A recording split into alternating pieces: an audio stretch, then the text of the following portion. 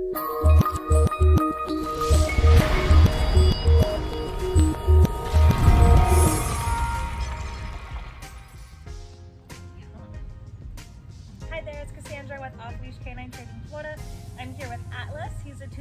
Golden retriever, um, and he comes to us for a couple things.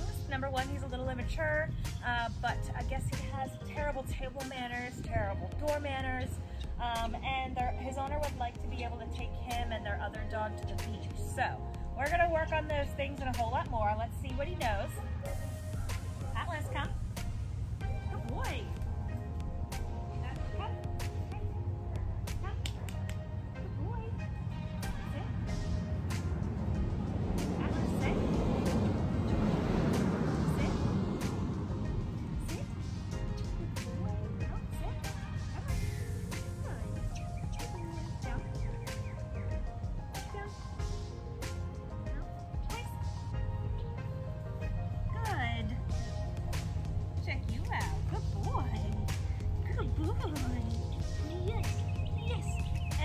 A major puller. I do know that. Um, I had fun walking with him earlier to go to the bathroom.